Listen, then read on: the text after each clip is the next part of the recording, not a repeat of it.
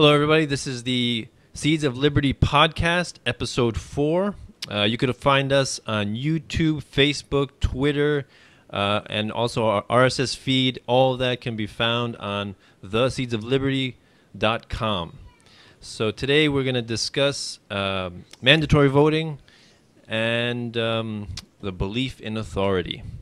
So so, so yeah, so we'll start off with mandatory voting. Obama's recent um, um, mention of mandatory voting is not really like a, as a bill passed into law yet. Um, so far, it's just a mention by the dictator himself. So, hopefully, it'll stay that way, right? one can easy only, with the trigger words. Bro. One can only hope. so uh, yeah, so I, I mean, I, I, I first heard about this last week, and um, and it kind of uh, kind of shocked me. You know, I. Uh, because you know there's there's a couple of countries um, that that require voting. Uh, Australia nope. and I believe North Korea. Although North Korea only has one person on the ballot, so so voting would, be, would be kind of redundant, right? oh yeah, they have real consent of the yeah. government over there for sure. Yes. Like one hundred percent consent. One hundred percent. Um, so Australia is interesting. Yeah, they they have like fifty dollar uh, penalty if you don't vote. Uh, it's kind of interesting, and um, you know, it's like my next question would be, well, what if you refuse to pay?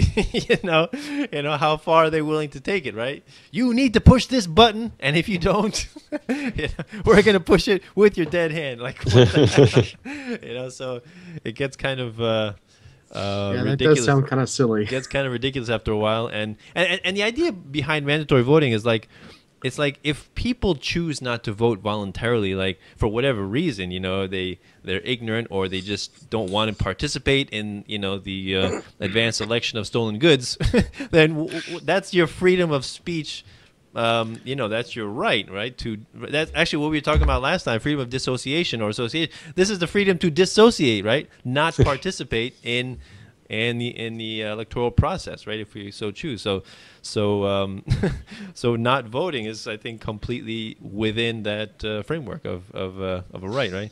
Uh, what do you think, uh, Jeremy? Uh, I, I, agree. Um, the the first thing that I thought of when I, I heard that story was what what you were mentioning about you know, well, what are they going to do if you don't, you know, if you don't pay the fine? Like that, my first thought was, well, this is just another opportunity for them to penalize people for not taking an action. Um, just like with the, uh, you know, the ACA, how you get punished if you don't use the service, um, which totally goes against every principle of freedom, even the pretend freedom that we're supposed to have in this country. Um, so uh, yeah, that that was that was the first thing that popped into my mind, and and and honestly, I didn't really research too much further into that because, uh, as you said, it's it's it's a as you were saying, Dave, it's a very silly notion uh, to uh, force people to to vote. You know, uh, I think they're taking that vote harder uh, attitude a little too far. Mm-hmm. Um, you know, well, I, I, what, what's the rationale? I mean, what I mean, what what, what were they say? You know, what what what are they trying to say to everybody that, um, you know, because they they're not going to spin it that you have to do this because because we you know we need to control you even more. So they, what what was the spin? I didn't even pay attention to that that side. um, was it just to get the the people that aren't participating uh, excited to do it again? Like if, if people well, are like, choosing you have to look at how many people voted last year for the general election. It was was it 98 million voters out of a country of 333 million? Mm-hmm. So well, yeah, I think I remember it was like 60 percent of the total pop, of the of the total voting population or something like that. No, less, no, no, it was less, less, no, no, it was 40%? way less. No, no, it was like one third. Thirty? Yeah, well, no, like thirty, right? Yeah, 30 per, 300, those, so 330, 330 million people aren't eligible to vote, Dave. I know they're not eligible to vote. So, so I'm saying it's not. It wasn't a. It was a. I'm talking about the percentage of of what of the of the actual voters. No, no, no. Um, you can't take that in consideration because voting is not a nice act. Like if you can't vote and people can still vote and that vote affects you, it's kind of bullshit, don't you think? That someone else can be determining something for you that you have no say in. Well, of course, I'm not disagreeing with that. I, I was just saying the percentage you were talking. Well, they're trying to get that off. up. They're trying to get that up because it's that whole consent to the govern thing. No, no the way I look at it is, um, you know, most of the people that don't vote, I think, are like illegals. you know, people who you know work off the books, right? Um, and and so if you can get those people, you know, I guess citizen status, you know, by voting or, or I don't know, just force them to vote even though they're not a citizen, then who do you think they're going to vote for? They're going to vote for the, the, the guy who gives them, you know, free subsidized housing, amnesty, you know, um, welfare. You know, you, are going to, which is mostly Democrat, right? you, they're going to for sure. They're going to support the um, the welfare, uh, you know, lactation milk ducks. You know. no, it's it's all right. So my thoughts on this whole situation are is like I guess they're just trying to eliminate that idea that if you don't vote, then you can complain. like, mm. you know, the old adage that you know, I guess uh, people in the in the political paradigm will say, you know, if you don't vote, then you can't complain, which is it, it, the truth is is the exact opposite because if you do vote, you can't complain because you consented to that system by voting. So whatever the outcome is, you have to be accepting of it because you wanted that system to work for you. May not have, but it's like I guess jumping from a house into a pool. If you land in it, the pool, oh yeah, it looked cool, but if you cut it a little short and break your legs, you're, you're gonna you're gonna say, "Wow, that was a stupid idea," but you still jump from a freaking roof. Yeah. So, uh, it the whole forced mandatory voting, like I would love to see how many people just said, you know what, no, fuck, I'm not, I'm not voting. Come arrest me. I'm gonna bog this whole system down. If 100 million people did that, mm-hmm. or not even 100, if 10 million people did that, they're not, they're, they're gonna go bankrupt trying to prosecute everybody. Mm-hmm. Well, or they'll steal so much property that people will go freaking crazy because what they'll do is they'll say, "Oh, you owe us fifty dollars for not voting," but okay, now you owe us thousand dollars for late payment of that fifty dollars. Oh, you don't pay us? We're coming to collect your property. We're putting a lien on your house. We're doing all this, and then you're going to have people getting evicted from their house to fail fail to pay because they didn't vote. Even if there's uh, even if there's a John Doe, Jane Doe, and I don't want to vote for anybody button, it's immoral to force people to vote. So that's that's my thoughts on it.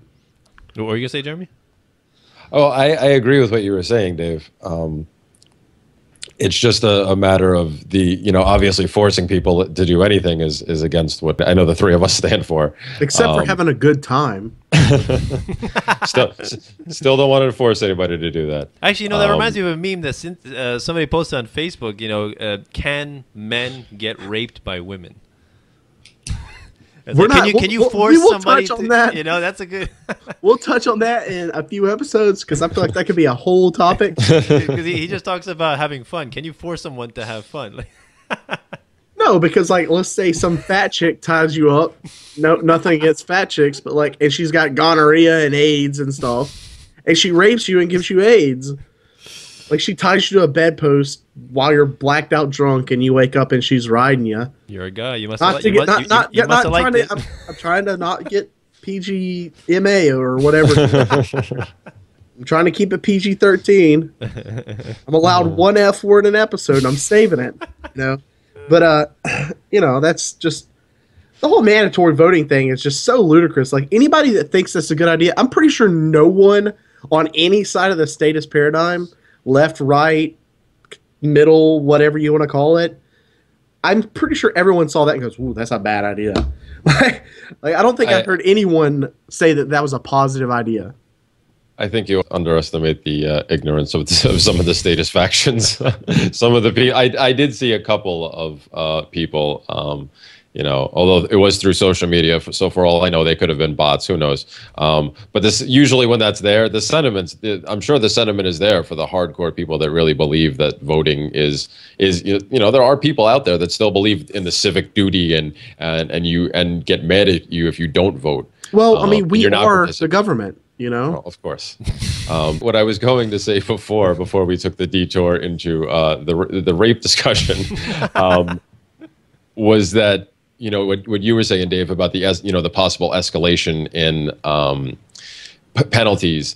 And if there was only a, you know, a certain number of people just stood up and, and said that, um, unfortunately, I, I, don't think there's enough people out there that'd be willing to take it that far and, and deal with all that stuff.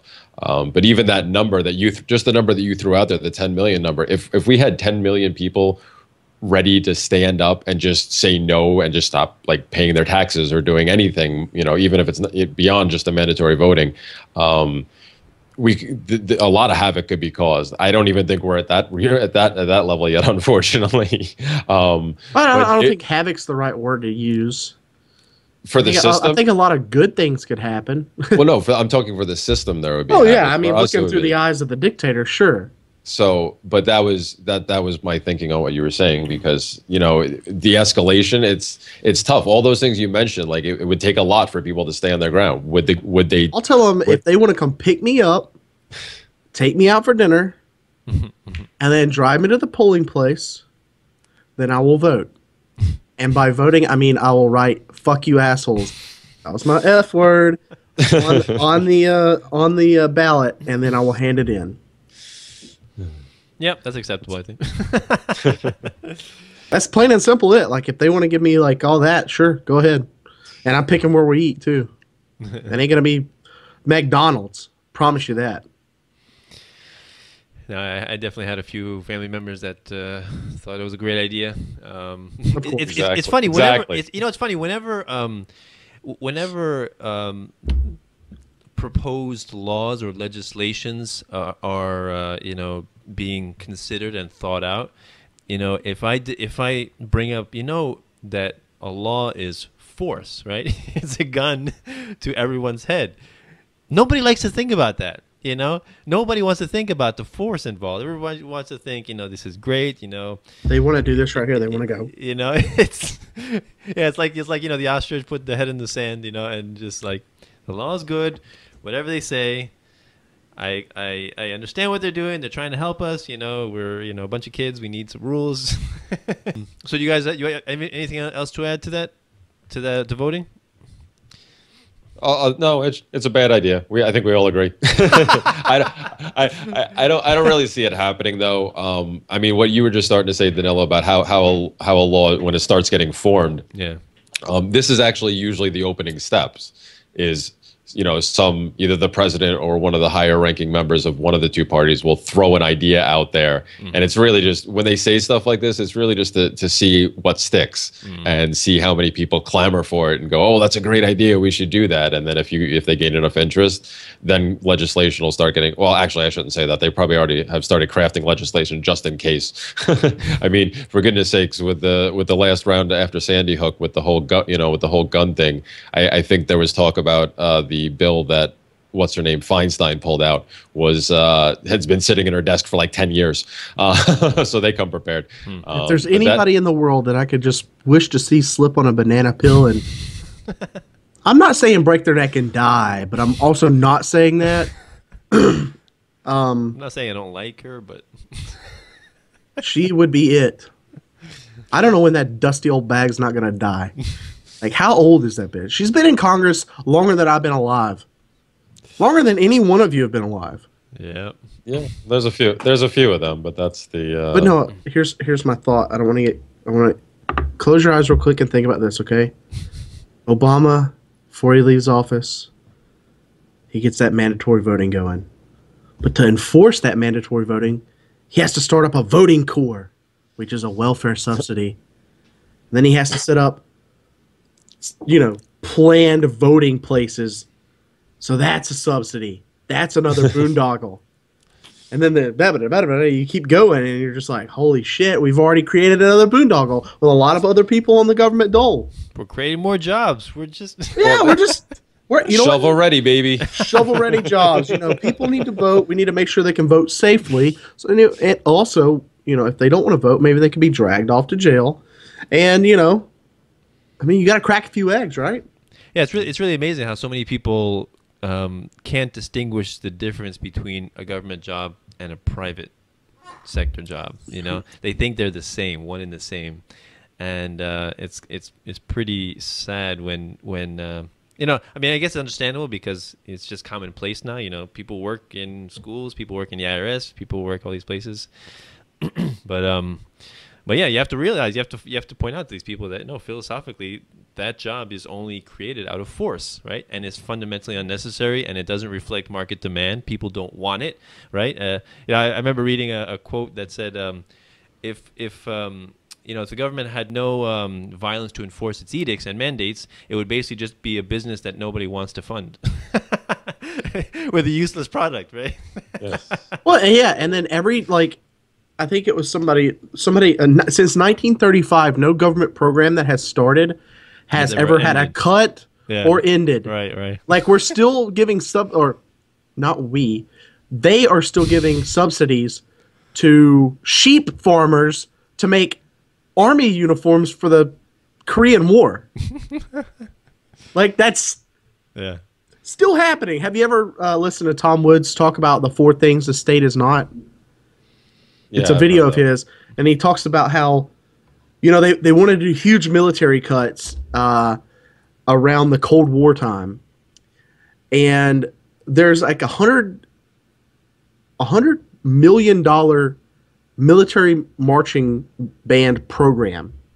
So instead of cutting that, they went out and said, "Okay, we're going to pull our troops out of Germany and stuff, where where you know they you know they should be if if we're playing war games here, but we're not going to cut." The marching band that is absolutely completely obsolete. I mean, I can get an iPod and a, a freaking uh, a boombox and, and play any military marching order you want. But they got to feed All right. their families, Dave. You, you think about Well, it. yeah, they do have to feed their families. I understand that, but you know, a military person, I just wish I could, or not military, but anybody on welfare, I really wish I could just ex- see them explain how they think it's okay that they live at other people's expense. Like other people are stolen from, and then they say, "Well, if you don't like it, you can leave." What happens when everyone that is a positive contributor to society just leaves, and there's just nothing but welfare whores? What, what what's gonna happen? The system they- eventually collapses because they run out of other people's money. So yes, when nobody when nobody is contributing beyond uh, the the absolute minimum, then yes, it can only last so long. somebody that's like carrying out orders to like arrest somebody because they want mar- mandatory vote. Let's just play pie in the sky. Like, how can they think that's a good thing in their head? Like, how could you like say, oh, "I'm just doing my job"? I can understand military people's points when they're like, you know, I'm fighting over there. And these are bad guys because obviously they're fighting back. You know, I, I work for my paycheck, and you know, and all if, this. If they, I'm were, not- if, if they were good guys, they would just lay down and die, right? you know, I've always thought about this. You know, there was Just uh, roll over. I always thought of- there was a- there was a general or, or a, a really high ranking guy in, in the Marines uh, during Vietnam, and he, I believe the, the, the sentiment was is why does the government want us to fight a war and then ties our hands? If they honestly wanted this war to be won, we could win it in one week's time. Like we could literally turn this entire area into a flat surface. So You- what you- what's you the purpose of this war nuke? other than a boon? Uh, no, not a nuke, but like what's the purpose of this war other than a boondoggle? Like to buy more ships, to buy more clothes, to buy more guns and ammo and all these other corporate subsidies. This Keynesian economics through the military industrial complex. But like, how can you tell that to a soldier and them say, "Yeah, okay, I understand all that's happening, but you know, I'm just doing my job." Like, mm-hmm. the problem is right there, deep down in the seed, is the belief in authority that is beat into people from day one, majority in every country in this world, but like really heavily in Christian and Muslim and Jewish ran societies. Because, you know, do bad, you're going to get punished, and then everything's going to be okay. And that sets up kids to believe that as long as someone's willing to do harm against me, to enforce what they think I should do, then it's good. And they don't realize that cognitively, but that's what that is. And that's what our main topic is is the belief in authority and how it is evil to believe in something other than your own conscience. Conscience, yeah. But yeah, like, was there anything I said there, Danilo, that you would like to touch on? Because it just always blows my mind how people just blindly follow orders. It's so lazy. It's not even. It would be one thing if they knew they were like, you know what, I know it's evil, but and, and I'm okay with it. But it's just lazy. Well, if they know That's it's one evil, thing I can't if- stand if, about they it. know it's evil and they're still doing it, then uh, I would say there's a level of sociopathy in there, psychopathy, Well, of even- course. even, more than laziness.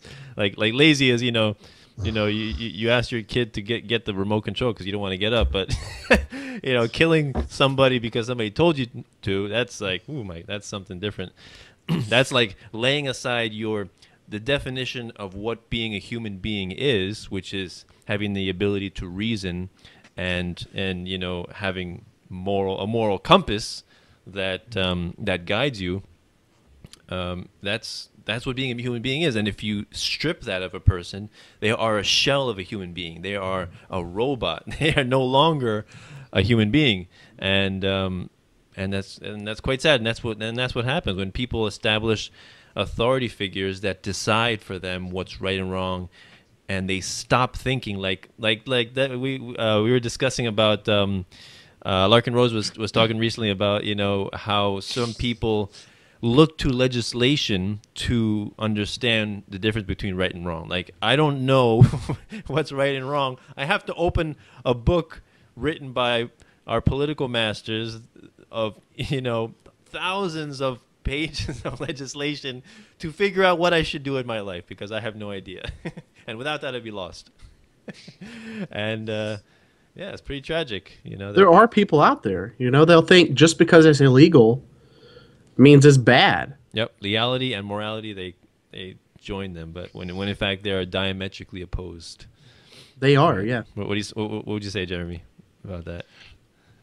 Well, I, I- of course I, I would agree with that too. Um, the the whole idea of people putting that much faith in, in government is is very scary. That they they, they can't like you both of you said they they can't think for themselves, and uh, it's it starts relatively young with most people. The whole might makes right mentality is beat into a lot of, literally beat into a lot of children, um, and has been for, Literally, yeah. has it has been for generations.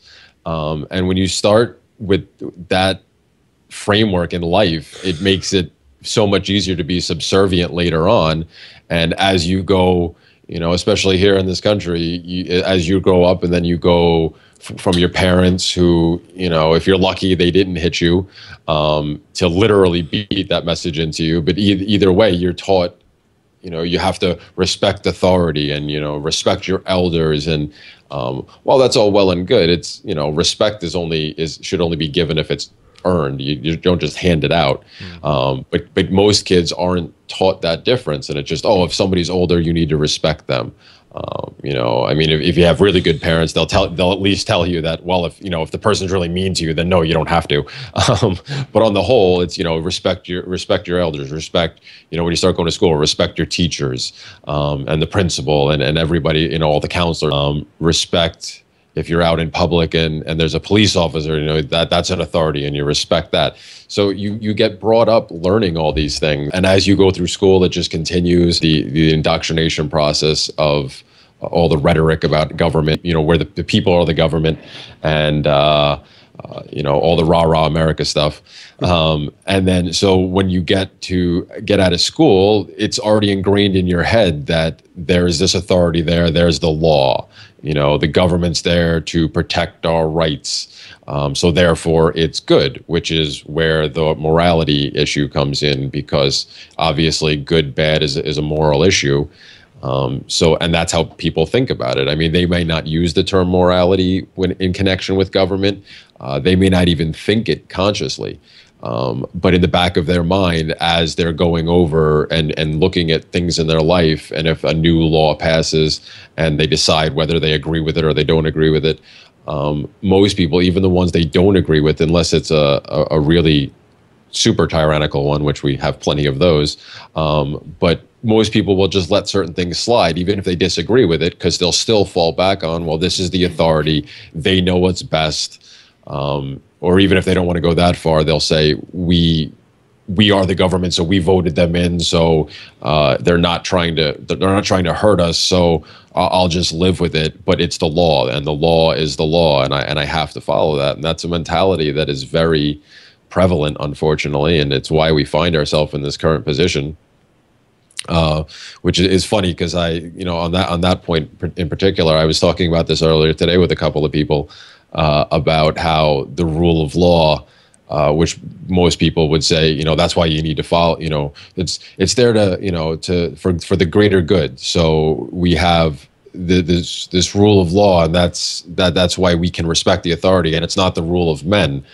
Um, you know, if, if that was the case, then I'd be totally against a lot of these things that that, that are happening. Um, but that's just such a ridiculous concept because the rule of law is no different than the rule of men, unless something other than men are writing the laws. Mm. but most people don't even like they, just say that. They they utter that phrase. And it actually I, I thought about this today because somebody said it to me when i was having a discussion and they threw the rule of the difference between the rule of law and the rule of men. And i said that's ludicrous.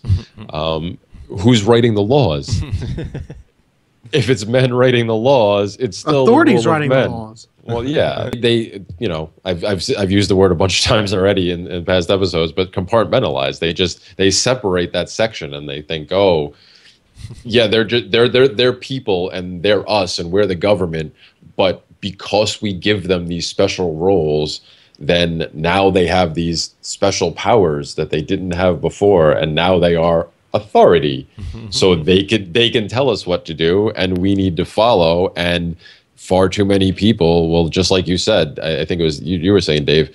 Um, you know, if if if they think it's illegal, then it must be bad, and that's why so many people come down on the litany of victimist. Yeah, like you know, uh, alcohol prohibition to me is like uh, the pulling of the curtain back and re- revealing the uh, the wizard. You know, so to say, like that's the analogy I, I like to use a lot. It's like, okay, so if laws are arbitrary, which they are, they they make no sense how is it bad one day to own, drink, make alcohol, and then 24 hours later, it was good? It was mm-hmm. okay. Like how? Like what happened? Did we go through some like t- time space continuum where we're in a different universe now? Mm-hmm. Like what? What changed in those 24 hours to make it good? Oh, some people in white robes bang the gavel and bam, wham, done.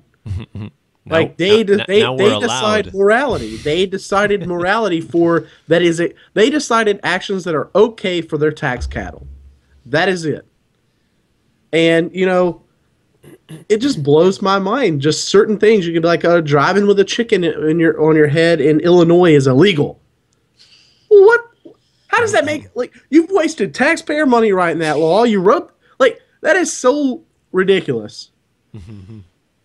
What it was was some state senator over there probably got ran off the road, and there was some chicken flying around in some dude's car, and he was like, "You have that chicken on your head. There's a new law."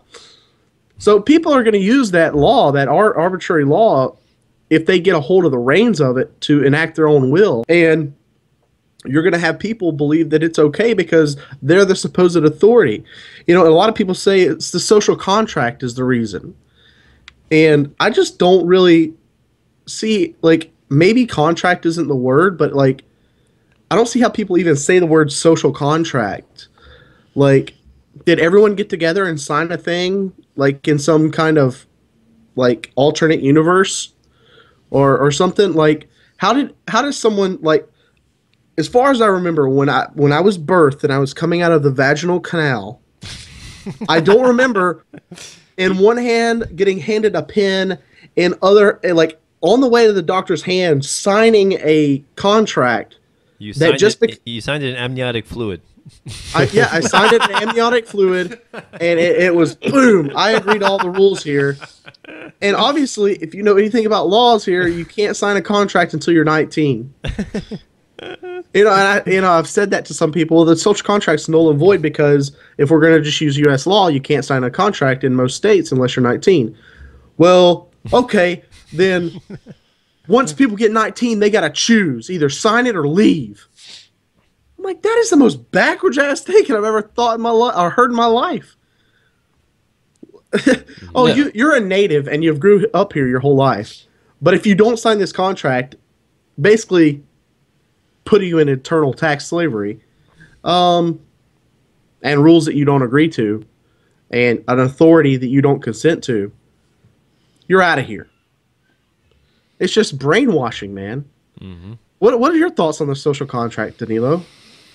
Yeah, social contract. Uh, yeah, like you said, it doesn't exist. Uh, even even if you if you go all the way back to the founders, right? You you have a, a bunch of old guys in a smoky room, right, drafting up a piece of paper, and they're deciding for everybody else what they're gonna do, right? Even at that time, hundred percent of people did not consent. you know, and even if they did, they're all dead right now, so nobody today consented to that document, right? However, we are all supposedly beholden to that document, right? Some somehow, which which daily the uh, federal government violates completely, wantonly, you know, with with the things that they do every single day. And by the way, Dave, you mentioned wasting taxpayer money. To me, that that phrase is a redundant phrase. I don't I don't think there is such a thing as a useful way to use stolen funds, right? yes. I, no, How no, can you not like waste in the taxpayer spectrum money? of things, like frivolous things, I would say. I mean, there's there's severities, there's degrees. Uh, uh, you know, you know, you can waste it on a bridge to nowhere. You can waste it killing people in in Iraq, but you know, they're both wasting.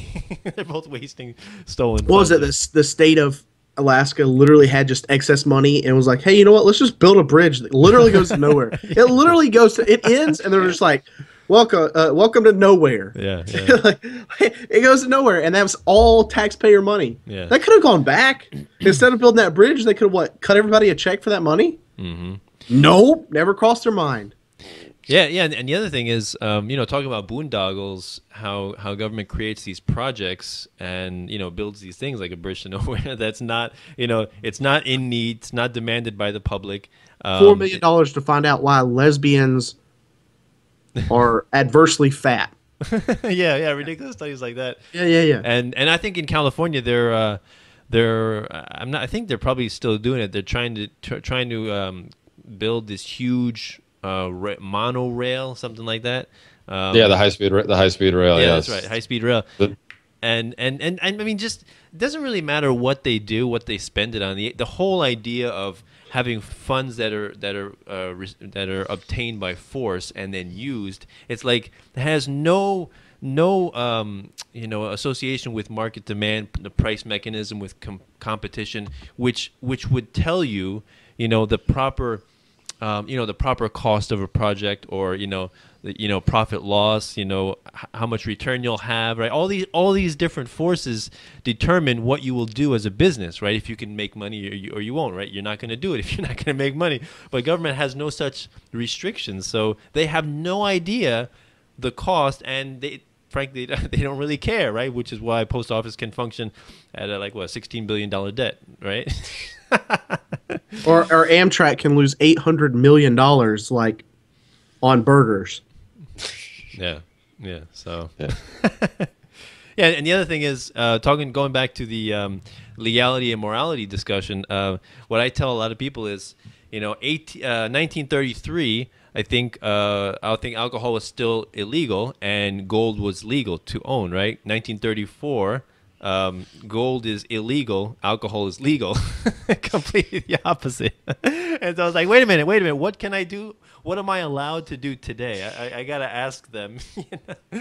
And uh, it's kind of It's so silly. Yeah, it's like it's like almost going back to school. Like, what am I allowed to do? Can I do this? Can, am I allowed to? it's like again, you know, deriving morality from authority. Not it's like they're you know not encouraging people to think on their own. Right? They need to appeal to a higher authority to live their life, basically. So So, Jeremy, when I tell you what year that the social contract, the idea of a social contract, became into human existence, I just want to hear your response. Uh, it, it it was an idea that came about by Jean Jacques Rousseau in 1762. That, that- yeah, that, I, remember. I, I, well, I know of Rousseau, so that makes sense. I don't know how Oh. anything from 70, 1762 could politically could be applicable today. Well, I don't, I don't, I don't know about that. I mean, I'm sure there are certain things that you could that could hold over, but the the whole idea behind the contract uh, is is ludicrous in my mind. Um, just like you guys were saying, Um, it's not even so much that you know. I mean, I've I've said uh, you know, smugly when somebody has mentioned that to me, you know, that I, I never signed anything. And um, even if you're talking about a verbal contract, um, I mean, I'm, i try to be a stickler for language and, and you know, and, and words have meaning. And if you're going to call something a contract, even if it's a verbal contract that you somehow agree to by, like you were saying, uh, you know, once you reach the age of 18, 19, okay, then you have to consent. Um, even if it's a verbal one, the, you know, contract law, the first two steps of any contract, there has to be an offer and then an acceptance or a rejection. You don't actually get to make that. There, there's no official offer. It's just, well, okay, as you said, you know, okay, you, you, you've been under your parents' wing for 18 years. Everything you know is here. Now you're going to make a decision. and you can't say no or if you do, that means you got to get you pack your bags and get out. So it, that right there nullifies the fact that it could be a contract at all.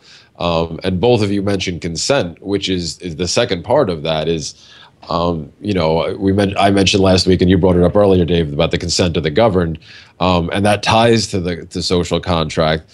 Uh, but most people don't understand what consent actually means because okay. you you can't give consent for another person what kind of socialist bullcrap is that? Consent of the governed. Just blows my mind.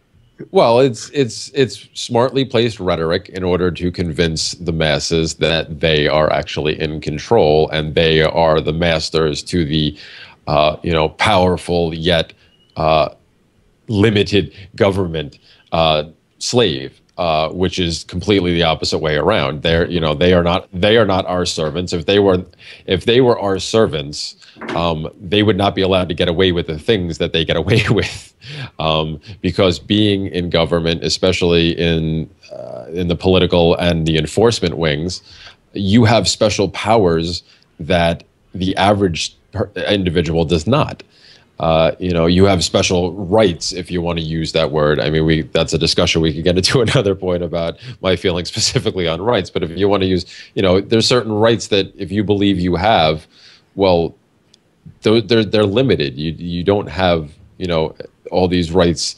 Uh, you know, you don't have the right to walk up to your neighbor and demand his money, uh, even if you claim that you're going to do something for him. Um, and say that you don't have a choice in the matter. And if you don't agree with me, uh, and you don't give me the money, then I have the right to lock you in a cage. Um, and if you resist me locking you in a cage, I have the right to kill you. You don't have that right. I don't have that right. But somehow, law enforcement officers gain that right just because a certain group of people got together and made a decision and claimed consent from everybody and decided that now these rights that didn't exist for the individual somehow magically exist for the group. And most people don't want to look at that because they just think authority, authority, authority. That's what I've been taught. They are the authority. I have to respect them. I have to obey the law, even if I don't agree with it, um, because it's it's the right thing to do. And people just don't want to look at that. Um, it's it's hard to get through to them, especially people that are in law enforcement. Um, you know, as it is with any um, field, really, the closer you are to the action, so to speak, um, especially if it involves government, it's a lot harder to see the contradictions that are wrapped inside what you're being asked to do um, you know, or even any field, you know, even like in, in the medical field too, same thing. Um, doctors, it's a lot harder to get through to them on certain things that may not um, actually be be the truth of what we're being told. Um, you know, if they're if they're subsidized in any way, you know, if they work for public hospitals and stuff like that.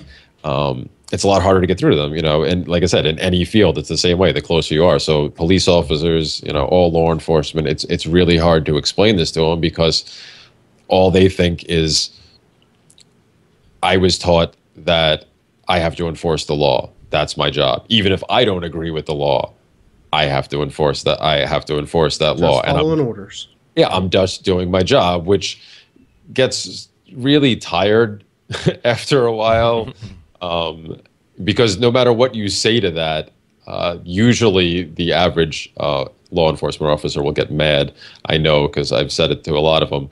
Because um, my next my next line to that is that didn't work. That line you, you realize that didn't work in the Nuremberg trials. Why do you think that line works now? How is that different? but we're different than the Nazis. They killed a bunch of people.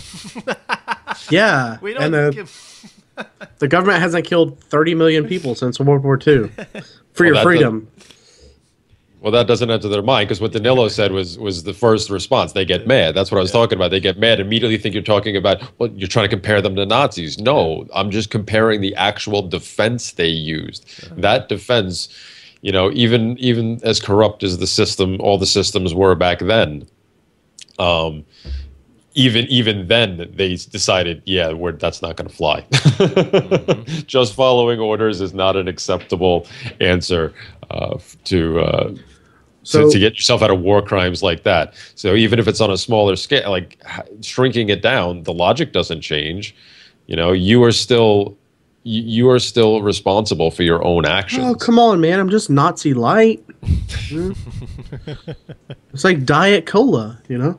But uh, I think definitions are really important. And for anyone that's following along with this conversation and doesn't know what definition of authority we're running on, because there's the Webster's Dictionary version that I like to say, and then there's the correct and uh, Socratically defined uh, words that we use.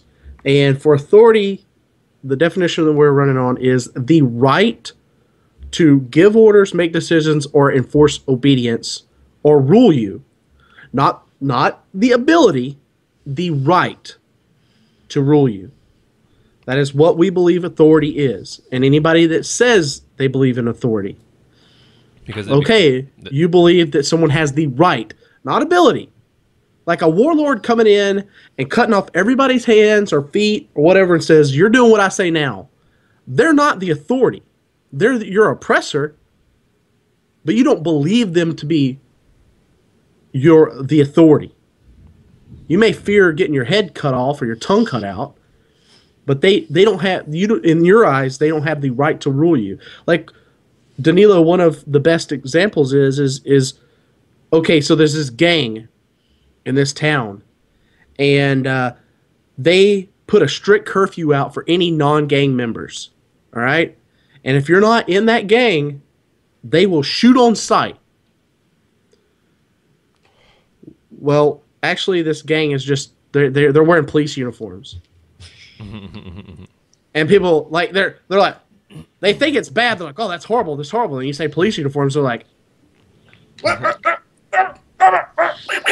mental gymnastics, and uh, they just don't see the the difference yeah, that's a- that's a because good, of the belief in authority. That's a good distinction. You know, it's it's not just um, it's not just the ability to to control or subjugate someone. It's the the right to having the moral right because you know the ability is like a you know like a thief or a mugger or, or a rapist or or a gang member, right? No, nobody considers the nobody considers the gang member's actions to be law, right? And moral and just, right? They consider them to be criminal, right? But when you expand it and it becomes federal government, that's law, the rule of law that everybody should follow, right, without question. And and one thing I get from a lot of people is um, they say, Danilo, why do you hate the government so much? I mean, the government is just people. You know, we're all just people. How can you just hate the like? They're not special people. They're just people.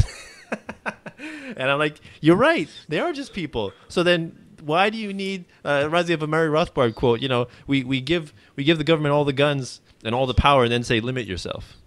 Here's right? an atomic bomb. Don't kill anyone. yeah, yeah. I mean, I, mean, you're right. They are just people, but we have all hallucinated this myth of authority that they, for some reason, have rights that we do not have. Right? They like uh, I, was, I was I was at the um, the museum the other day and. And I saw the uh, you know beehive. You know they had you know in the glass case, and they were saying the difference between the queen bee and the worker bee, right?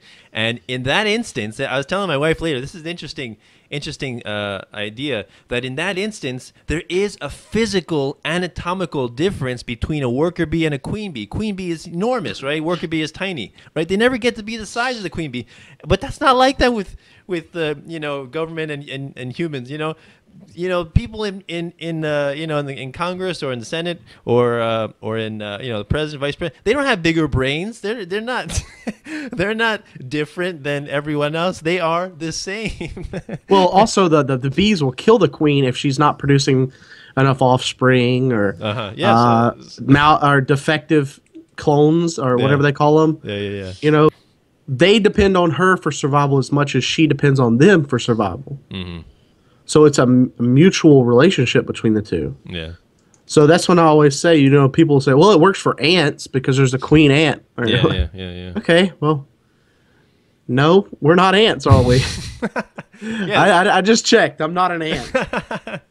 Yeah, the difference is we, you know, you, you know, yeah, people make make um, comparisons to the hierarchical nature in, um, you know, in various animals, uh, mammals, or you know, bees or ants or whatever, and and you know, you have to say no. What's the difference? The difference is we have the neofrontal cortex. We reason, we think, we can philosophize, we can reflect on our past, we can reflect on our future.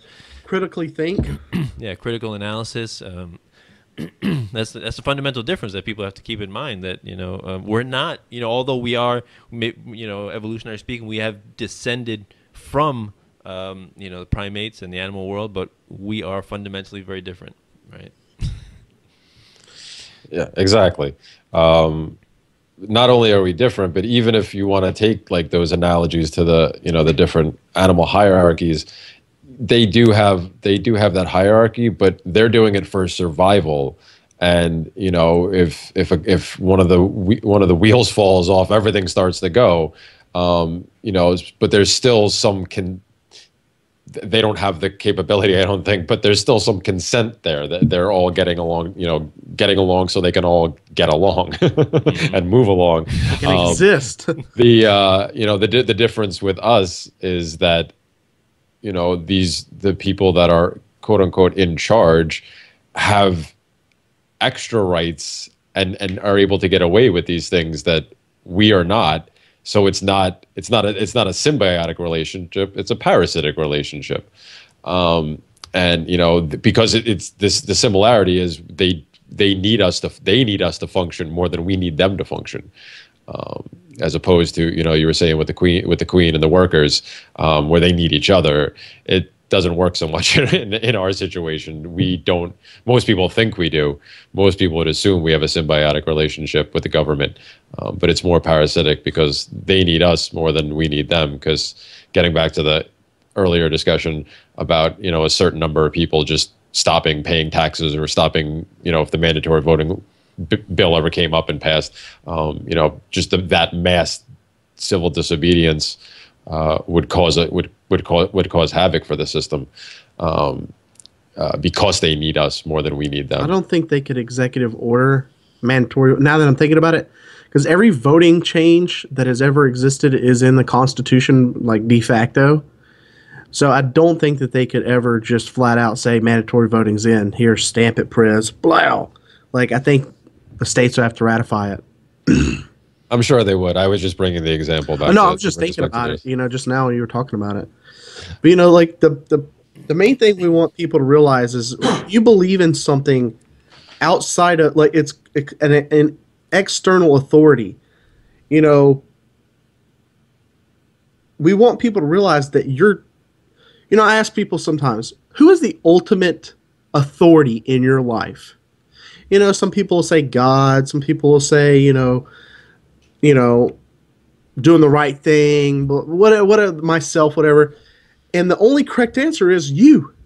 You are the ultimate authority in your life. Because if you believe in God, you chose to believe in God. You weren't forced to believe in God.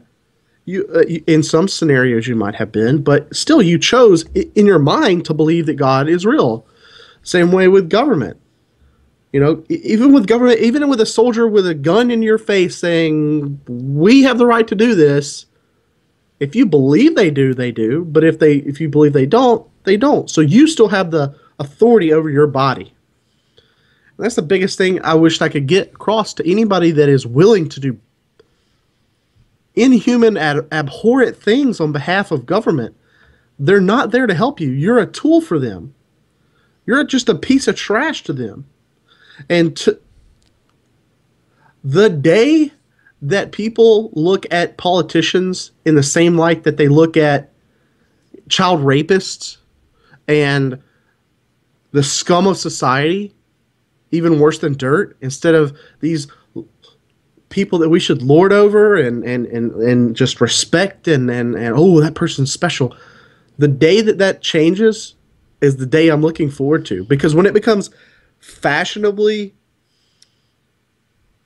when it becomes such a negative become a politician that it people won't do it like you're seeing now more people they're having to lower and lower and lower and lower the standards to become a, a law enforcement officer in this country in in most states because no one wants to do it because they're getting so much bad press.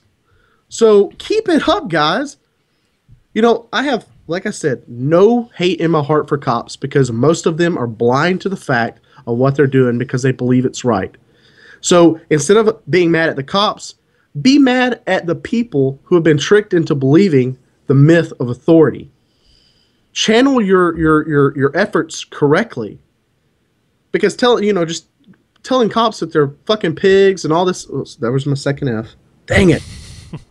that they're pigs and they're they're trash and baby killers and all this. You tell a soldier they're a baby killer. You're not winning any mind over. You're not changing. What you're doing is helping them, like I said, build a castle. They're gonna keep. They're gonna defend what they've done because they believe it is right. If you attack like that. And there's nothing that I can tell another person in this world, especially someone that is liberty minded, is to treat everyone's ego, especially when you're trying to talk to them about liberty, because you can you can be having the most civil conversation and say one thing, boom, they blow up. They get angry and start yelling because that cognitive dissonance kicks in. And the ouchie, ouchie, ouchie, this hurts to think about kicks in. Hmm. And the only response the human mind has for that, for new information that is so completely opposite of what they've been taught their whole life, is anger, hate, all this other stuff that comes out. So you're dealing with, you know, a fragile little egg. Fragile little egg, all right? Don't don't come up poking it, you're going to poke a hole through it. This is the Easter episode. It is. Excellent, excellent uh, reference there, Dave.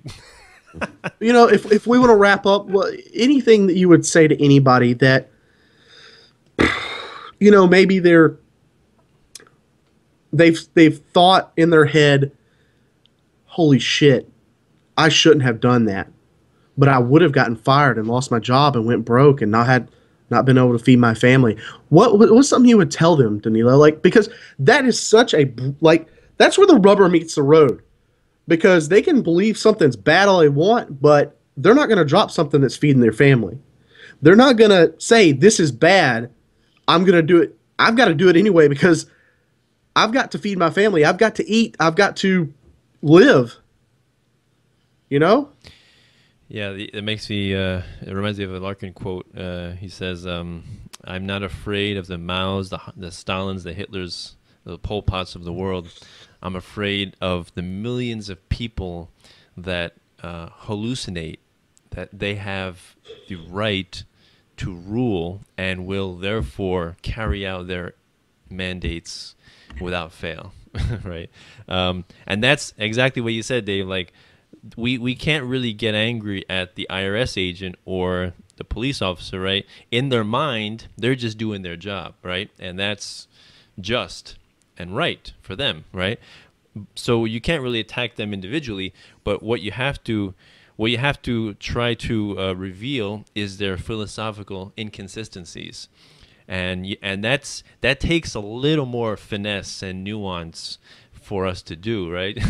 you can't just call like uh, like another friend of mine uh, uh, who we're gonna have on, hopefully, um, he said, you know, you can't just call a soldier a welfare whore. Like that's not gonna that's not gonna help him to see voluntarism a little more clearly. you know, Even like, though that's the perfect definition. yeah, it's just like you said. They they're just gonna erect their barriers that much higher, that much higher.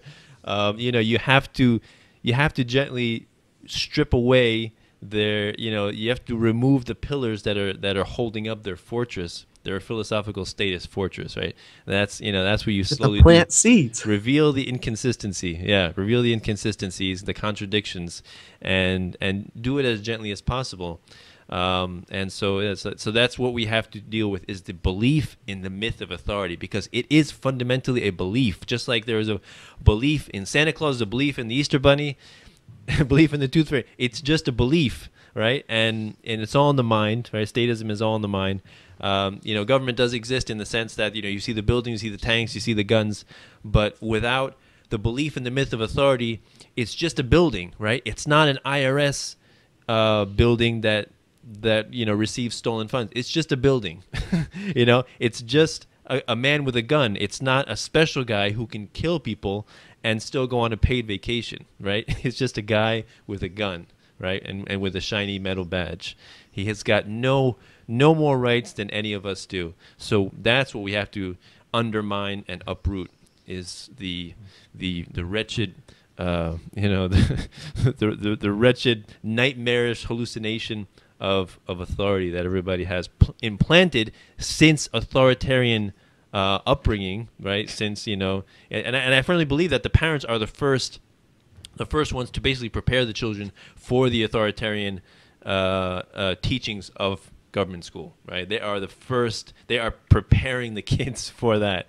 You know, when you spank your kids, when you um, when you yell at your kids, when you say, you know, do as I say, not as I do, when you when you say, you know, when you, when you act as though your children are inferiors, are your subjects, are your property, you are preparing them for state worship. that's that's the way I feel. What do, what do you think, Jeremy? Oh, absolutely. Um, you know, I, I, said that a little earlier that it it starts at, it does start at home, um, and it's just you know the parents lay the groundwork.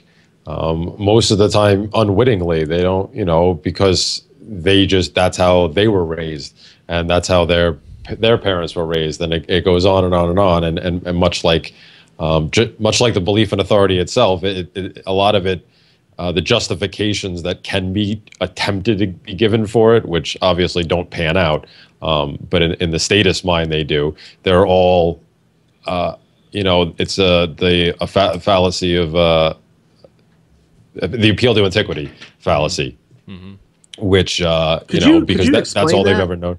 Could you explain that uh, phrase, the appeal to antiquity? Oh, the appeal to the antiquity is just an appeal to history. It's you know that's so like the way traditions. It's, always yeah, it's always been it's always been done this way, so it must always be done this way. Okay, yes, that's exactly. that's. I just wanted other people to hear that because maybe they've never heard that, you know, and mm-hmm. and I think I had a pretty good quote about that the other day, you know, about the the you know, like a drunk clinging to a bottle, mm-hmm. an empty bottle, just hoping for those last few drops of comfort. Statists hang on to traditions that subjugate them and their families just like that. I, I, that's not exactly how it phrased, but that's the meat of the thing, and that is that appeal to antiquity that you were talking about. Antiquity. Yes. Yeah, so that's you know that's all they've ever known. So that's what they bring on their children and, and, the cycle just keeps going and going. And then you know as i said earlier it goes to the teacher it teachers perpetuate it and then once you're out in the world uh, you're all ready to go dealing with this authority around you that you've been taught your whole life needs to be there. Um, you know and, and as both of you were saying trying to get through to certain people especially the so-called authority figures is, is difficult and it, it, it does take finesse. You're absolutely right danilo. Um, i mean i'm guilty of, of, throwing around some of the phrases you guys had mentioned. Um, I, Me too. You know, we, i mean we all do but if, if you're going to have an honest discussion with one of them and try to um, you know unfortunately like like you both said it the defenses go up and it's you know the stress the stress the stressors activate and it's it's either fight or flight. They either don't want to talk about it anymore and, the, and they'll literally walk away or run away from you uh, or they or they'll get mad and then they'll fight they'll try to fight you on it.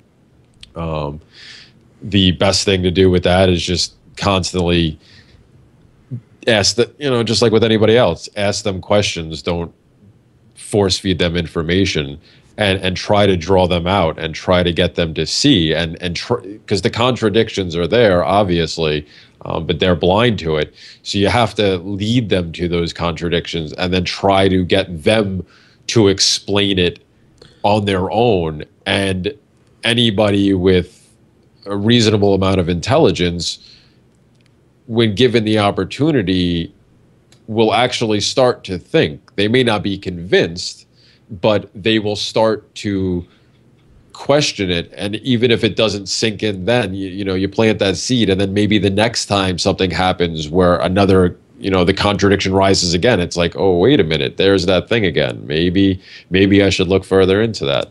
You know it's you know as, as i was saying before also it's it's tough because when they when you're that cl- close to the actual um, action.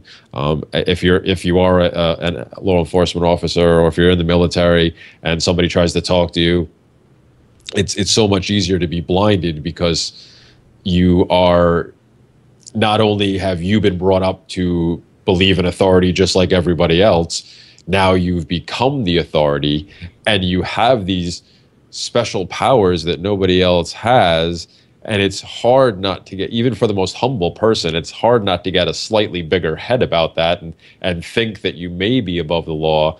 And you know as, as you were saying dave that the it's getting they're lowering the standards for people to get into the, the police department because not as many people want to anymore. Um, you know. Oh they're also paying if you have college debt you can you become a police officer they'll pay it off now. Ooh, man. Yeah oh god i just we just we just saw that the other day. That's just I mean, and that's just if you don't think that's special rights and that's not welfare, like I'm sorry, that is welfare. Well, of course it is, but nobody so wants to see it. When a cop says they're not a welfare recipient, it just really upsets me. Like that they they don't even see the contradictions. But well, how are we doing on time right now, Danilo?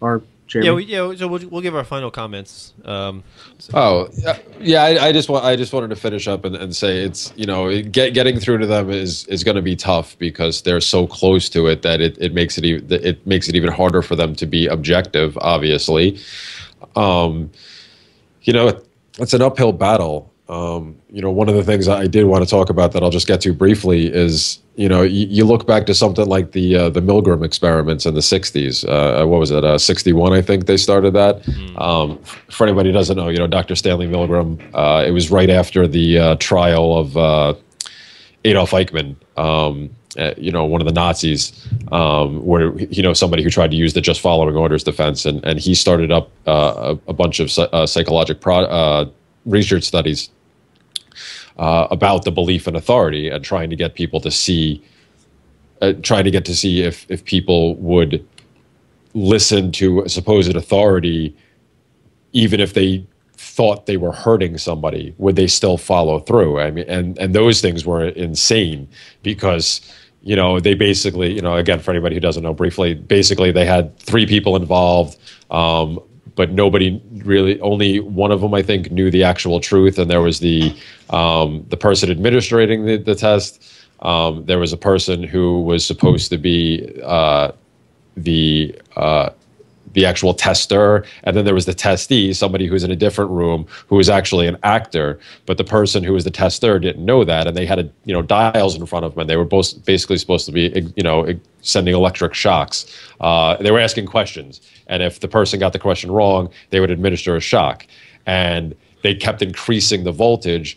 The, the tester didn't realize the whole time that there was no there was no electricity. The person in the room was an actor and was faking it um, the whole point was to see how far they would go when they had this person standing over them saying, "No, no, you agreed to this. You have to continue. You have to. Um, it, it's okay. You you said you would do this. You you have to follow through. You have to follow through."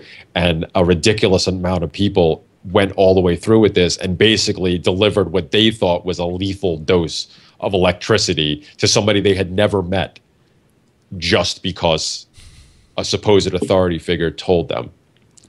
And even, Scary. after, and even after they stopped, it, they, they stopped responding. They kept delivering the higher and higher doses. Yes, be- because yeah, because they were told. I mean, I I read up on it again recently, and there was like four. There was like a string of four uh, responses that the the overseer was supposed to give. You know, in escalating orders, like you know, you did agree to this. Um, the second time around was no, we really want, we really need you to do this. No, we really want, we really want you to do this. And like the last one was like, no, you absolutely must do this. Oh, and you know, yeah, and there was, you know, there was there was some people that dropped out. You know, the people that actually were virtuous just couldn't take it anymore and got sick to their stomachs and so they couldn't c- commit. But there were there was a, a huge number of people that went all the way through with this. I think like because 60% the of them- authority Yeah. it was. Just because just because the authority told them to because it's so ingrained, and you know that was you know like I said that was like in the the early '60s, um, but it's been replicated multiple times since then, and, and that's what we're up against. And the uh, the problem is that people just they are so accustomed to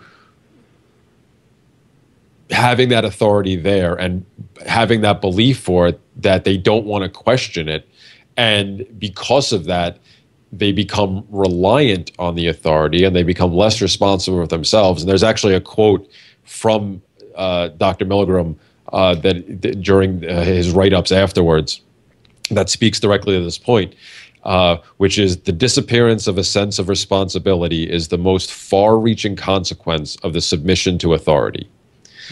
And you know, I, I've always I've always said that you know the the personal responsibility thing that you, you lose that when you when you trust in government because you're giving more and more responsibility over to them to do things, and that's always been a problem.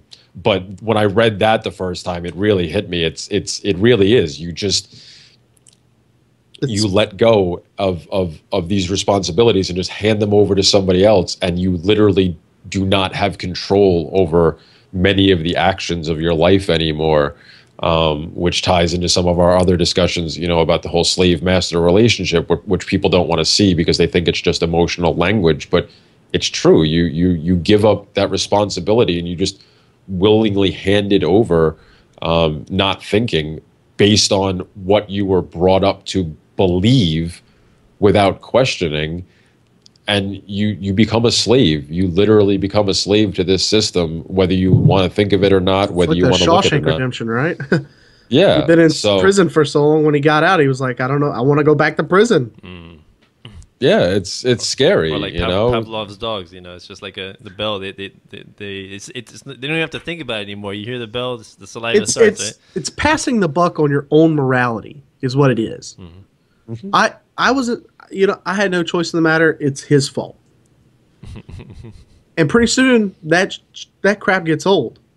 And you got to realize that you know only you make those decisions.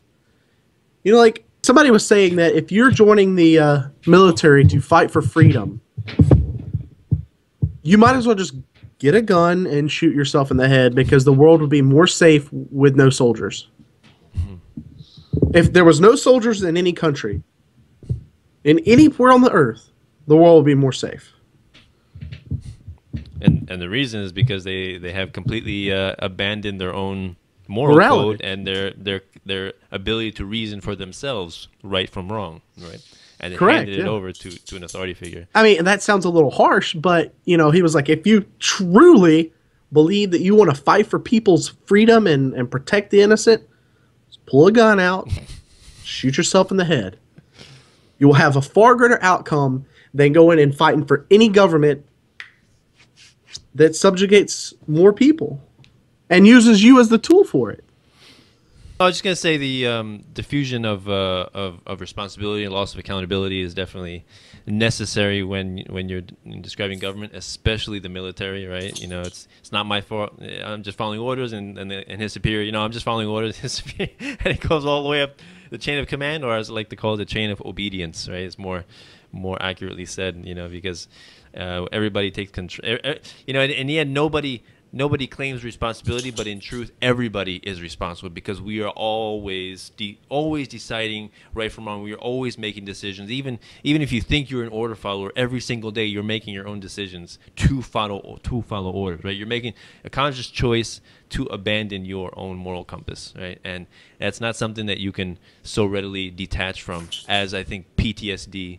Um, uh, illustrates. You know, you cannot detach yourself from your own conscience. It's physically impossible. You know, then you would really not be a human anymore. You'd be a robot. There's no difference. Yeah, yeah, you're right. You know, and uh, humans aren't programmed to be like that. You know, it's it's inhuman. but uh, uh, in a few weeks, maybe eight or nine, we're gonna have a friend of ours on named Donnie. He just got out of the army, and he is you know 25 years in, I believe, maybe longer, and he is a full blown voluntarist, and he's gonna come on and talk specifically to freedom activists and freedom spreaders, whatever you want to call it, uh, on like how to ap- even approach someone in the military with the ideas that we hold. Like how to even just even open up and start talking to them in the most non-confrontational way because he says he's been doing it for years in the uh, in the army and he just got out. So I, I had some discussions with him about you know like how do you become a voluntarist and then not just immediately get out of the army but you know his his point was that he could do more damage on the inside which i see his point you know i'm you know it's whatever but um we we guys we really appreciate you if you uh downloaded or watched or you know whatever however you uh found this media we really appreciate you checking it out.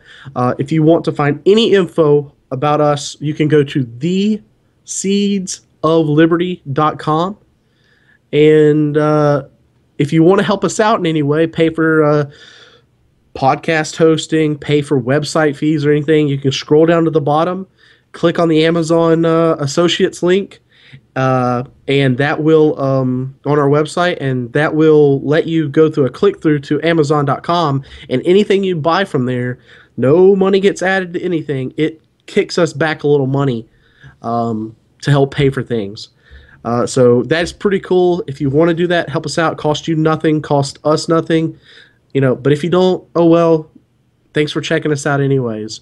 Uh, for me i'm signing off. Uh, danilo jeremy got any last minute thing you want to say? Yeah, I, well, I, I, I want to finish with uh, one, one last quote. Uh, I'm taking over Dave's role for the uh, evening.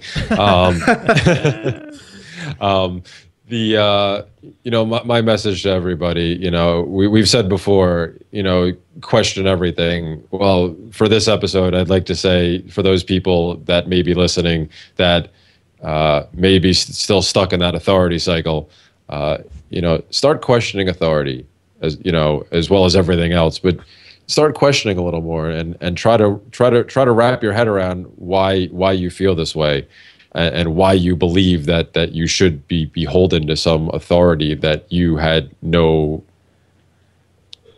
decision making process really in other than getting to uh, select a couple of new masters every once in a while because the system was there long before you. Uh, but the quote that that's related to that uh, I found it a bunch of different places, and it's it's it's claimed to be a Da Vinci quote. I'm not positive if it is. At the very least, it's attributed to him. Uh, but nothing strengthens authority so much as silence. So start questioning and start asking questions, and uh, don't keep quiet about it. You know, once once you start to figure these things out, share that message, plant those seeds, and uh, pass it along to others. Uh, because the quicker we can get that critical mass to just give up the belief in authority, a lot of our problems start going away. uh, you know, it won't, it's not going to take a revolution. Uh, it, th- those never seem to end well, but I, I don't want to see that. Yeah, I don't. I our- don't I, our next episode uh, is going to feature an author named Jim Davis, and the uh, subject matter of the podcast is going to be: Is revolution a good idea, or why is specifically political revolution a bad idea. So yeah, that to, to play on what you just said, yeah, that we're definitely going to be talking about that next week, and that is a big thing that pops into people's head when you start thinking as well. Should we get violent and take them over? Well, you'll find out next week. Yeah, that, that kind of reminds me of a Gandhi quote. He said, um, "You know, you can cage me, you can break my bones, you can beat me, you can even kill me, but you will not have my obedience." and and I think that's that's quite right. You know, once once you establish your own self ownership and you, you establish that you are the primary, um, you know, authority in your own life, then nothing can change that, right? you know, nothing at all. Um, and and so you that's our job, I think, is to help people to internalize that. You know, that statism has been beaten into people for you know 12 years of of uh, attendance whole of life. government school. Yeah, since since childhood, and uh, and it's not easy breaking uh, or, or or just transforming that and um, and showing its inconsistencies because because it's all you know it's all hallucinations not based on reason not based on logic. It's just it's just you know it's like how do you how do you prove to you know if somebody that god doesn't exist? You can't right? But you just have to be patient. I mean not to say that you know uh, because there are some there are some christian people that that do claim to be anarchist and uh, and anarcho-capitalists which is fine completely fine with me. Um, but the idea is that we we have to be patient and like you said dave plant seeds. And and and you know you know I, I like that quote because it's not about being violent. Like like you know you can oppose authority by just standing up and just speaking your mind right violence is not necessary at all violence is indeed counterproductive right so the way things are advanced in societies people speaking their minds and writing down what they think is truth regardless of prevailing paradigms or the status quo right? And uh, and that's how things get changed, and uh, and the job's not done yet. We still have a lot of work to do. oh, for sure. so uh, thank you very much uh, for listening. Uh, before we go, I'd just like, like like to let everyone know that in addition to supporting us through the Amazon uh, link at the bottom of the page, you can also support us through Bitcoin and PayPal donations. We would accept uh, fiat currency in any form. We do not uh, discriminate. Uh, there, we uh, the freedom to associate or dissociate, right? We uh, yeah, I'm working on the Bitcoin link on the, on the website. I'm having a little difficulties, but if you have a Bitcoin app on your phone, you can take a picture of our QR code and send us however many bitcoins you want. Nice. We will put them to good use. If, I promise. If you want to forfeit currency, we by all means we will find a way to receive it. Don't worry about that. Yeah. Help us keep the lights on, folks. I mean, yeah. look at Dave. We already we already lost Dave. We, lost Dave. Um, ne- ne- ne- next week, one of the two of us is going. Oh, oh Dave, oh, sorry, I'm doing the gimmick. I can't pay the power bill. you see that? You see that, folks? It only it, it only lasted a few seconds, so Dave is really suffering. So uh, it, it, went right out. It, I clicked it on. They said nope. Thanks for listening, guys. Thank you very much. Uh, so we'll see everyone next week. Uh, have a wonderful day. Take care. Peace. Bye.